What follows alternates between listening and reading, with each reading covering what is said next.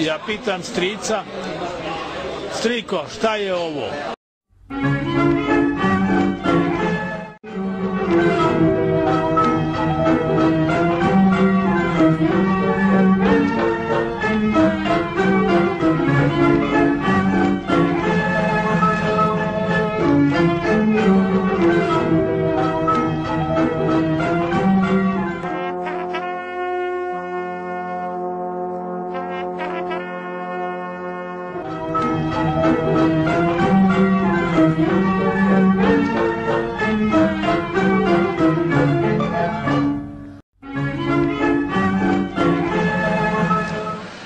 eto slučajno u engleskom jeziku se održao taj pojam, pa kažu sobar room.